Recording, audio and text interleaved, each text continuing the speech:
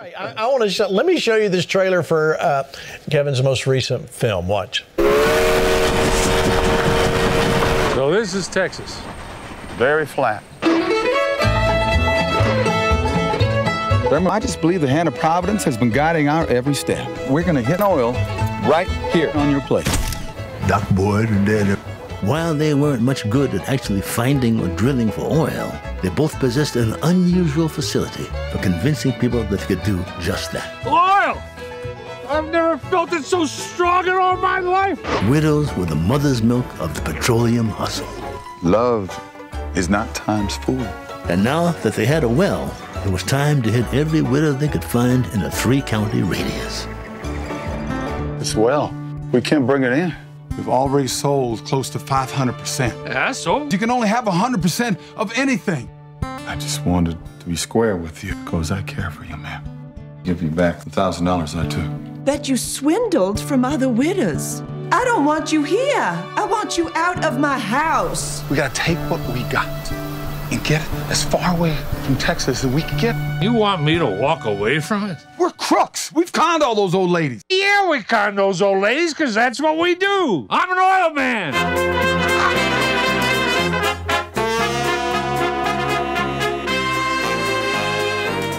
Praise Jesus in all his glory.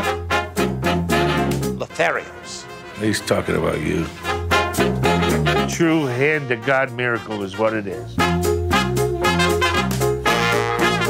That's the gospel truth. Leave the rest up to Jesus. God's own bounty. Oil. Black gold. Amen. Amen. Amen. Amen. All right, Kevin. Uh, it says based on a true story. Tell us the true story. It's a true story. These two con men, played by myself and John Ratzenberger, went through Oklahoma and Texas right in the heart of the Depression in 1930, and they would con women out of their money on the fake oil wells. They would sell 500% of the shares, so I think that's five times more than you can actually have, declare a dry hole, and then move on. They get to Kilgore, Texas. A miracle happens. They strike oil, largest oil find in the history of the world. Of course, they get arrested, and during the court proceedings, all the widows through Oklahoma and Texas show up for this court trial, and there's some more miracles that happen afterwards. But what these guys did, true story, they would use uh, Bible verses to woo the widows. And um, there's some things that happen in both these characters as these things keep going on and on. But it's the largest oil find in the history of the world. And my wife Sam, who's in the movie, uh, Lou Gossett Jr. is in as well. She did a little more digging. She found out that these that oil a decade later during World War II was the oil that helped keep our allies and the American forces filled up with gas during uh, with all their tanks and all their trucks, while the Germans were being surrounded by all the allies and running out of that thing. And Winston Churchill said it was the uh, oil from East Texas that helped win the war. Wow, that's amazing. That's amazing. All right, so Kevin, let's. Uh, all right, so first off, before I go off topic, I want to make sure. Sure. When's it coming up? How do we go see it? And is there someplace we can go see what to do? Go ahead. Uh, go to sorbostudios.com. Sorbostudios.com. You sign up there. You put your zip code in. It shows you what uh, theaters near you. We got 800 theaters. It's on. Uh, it's going to be on October 29th and 30th. And here's the deal with independent movies. We got Fathom behind us. Okay, Fathom was very helpful for independent movies like mine that at least get out in theaters if we can fill up those seats, we need to fill up those seats. We will get more time. We got a culture war in hand, as you know. You see the woke world. You see, see the stuff that is coming on our television sets and our movie theaters. And uh, independent movies like myself, what the Erwin brothers do, uh, we try to put movies out there that have hope and love and faith and redemption, things that Hollywood used to do. So we need your help. We need this to become another God's Not Dead. Remember, God's Not Dead, $2 million movie made $140 million, all off word of mouth. So we need people's help to make these movies out there because these $300 million Hollywood movies with a $100 million advertising budget, how do we, with $3 million movies budgets, that's catering budget on those things, how do we compete with them without strong word of mouth? And I get stopped all the time by people saying, we love the movies doing, please make more. Well, we can only make more if you guys keep supporting them. So I hope people, I pray to God that people will fill the theaters this coming weekend. Yeah, absolutely. All right, so Flashpoint Army, you know what to do. Now, Kevin, this is what we did for uh, uh, our good friends, Jim Caviezel with uh, Sound of Freedom. They were in the same exact spot you were in, uh, and the Flashpoint Army got behind it.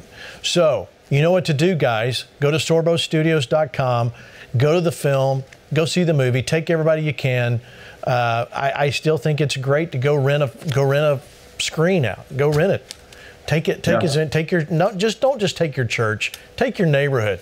Listen, I don't know anybody that has kids now or even grandkids, like some of us do, that you don't want to be able to take your kids or go do something. I mean, now you're like concerned.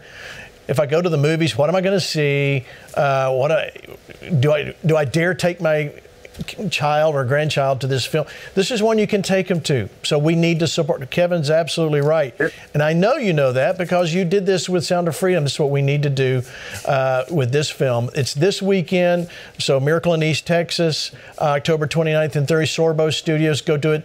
Uh, we need a great showing. Flashpoint Army. We've got to. We must support films. Kevin, you were going to say something. Go ahead. It's a, P, it's a PG rated movie. We got the movie guide stamp of approval. We got the s- stamp of approval. You can take your seven year olds to this. This is a wonderful movie that everybody can uh, join in together. And if you don't mind me throwing in there, I've got a book, new book that came out through Brave Books. And if you know what Brave Books does, Brave Books does amazing stuff. You go to bravebooks.us there, bravebooks uh, bravebooks.com works as well. If you guys remember last year when uh, Kirk Cameron came out with his book, he got attacked. He got kicked out of public libraries, libraries that we fund with our taxpayer money because they didn't want him to read his book to seven, eight year olds, but they were okay with drag queens reading to seven, eight year olds. So go figure that one out. It's unbelievable what's going on. My book, I'm getting attacked by the alphabet crowd because it's about uh, letting boys be boys. and grow up to be strong men, strong Christian men, and strong family men. It's a little story about a little lion cub who saves his little sister's life out in the woods. It's all it's about. There's not. It's not anti anything, but it's pro child. I'll tell you that much right now because it's crazy what our public schools are doing, what our media is doing, what our government's doing to our children today. Let children be children. Let them grow up to be adults and make their own decisions in a in a more adult fashion.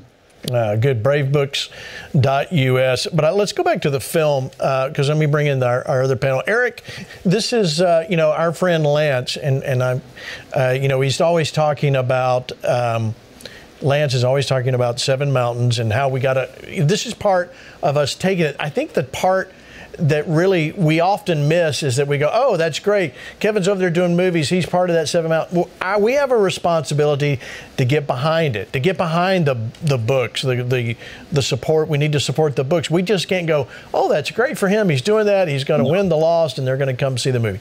You know, we've got to support I- that as I- well. I talk about this wherever I go. I talk about it on my radio program, on my TV program. This is a big thing for me. First of all, no American should ever, ever spend another dime on a Disney product or a Disney film. If you do that, you're part of the problem.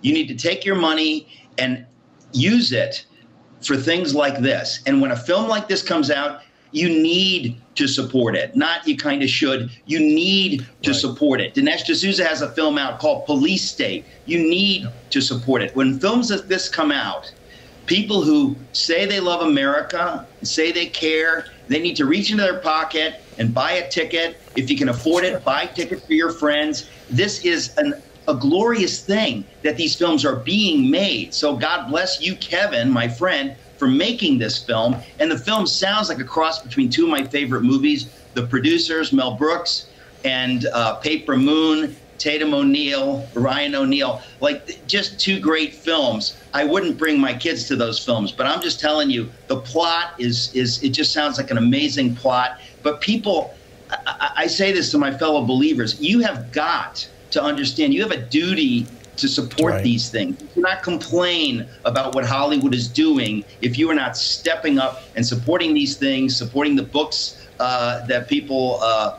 like uh, Kevin and I write. You've got to support these things, and you've got to stop supporting what the world is giving us, which is destructive.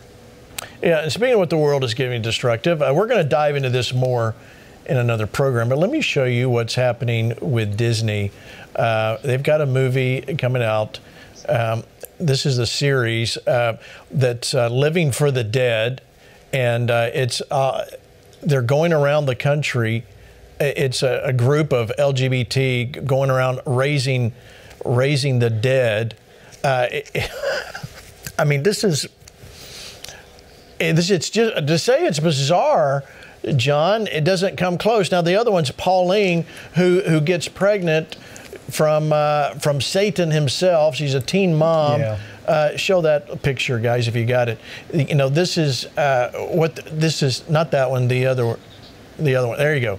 This is what they're putting. This is Disney. This is what they're putting out there, John. This is what we're dealing with. Yeah, it is. And, and and to me, what you just showed and what Kevin just talked about is just like that picture where half of Congress is sitting down and half is standing up. You know, if your if your father is Beelzebub, you're you're part of that problem, and so it's exposing that stuff. Stay focused on the positive. I'm going to go Sunday if if I can all take all my kids that I, that are here locally to do this. My wife and I actually met right by where this whole story happened in Kilgore, Henderson area. Uh, she was a Kilgore Rangerette. That's where the oil museum is. It's it's going to be fun to watch a clean movie that's good, and I'll be happy and delighted. And I encourage, just like you did, Gene, the whole Flashpoint Army. Just go spend, look at it as a donation. Go there and do it, and it's going to be a great movie. I can't wait to watch it. But you you see these two things, and then you start going, okay, this is a pretty sharp sharp contrast here. Let's stay focused on that which is good. And so I I appreciate Kevin what you and Sam and all the people that are helping you are doing. Keep it up.